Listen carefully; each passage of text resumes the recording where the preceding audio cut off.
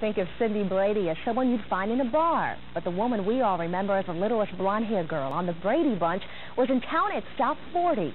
Susan Olsen wasn't the only one at the biker bar. Right along with her, our own Jim Gnall, Cabot Rea, and the entire WNCI Morning Zoo.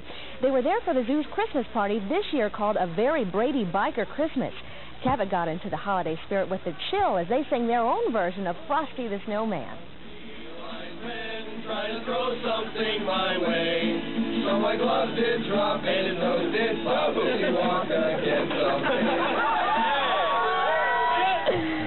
Words, uh, with the bikers who hang out at the bar also sang along and played Stump Cindy, trying to fool Susan Olsen with Brady Bunch trivia. There she is. Boy, has she grown up.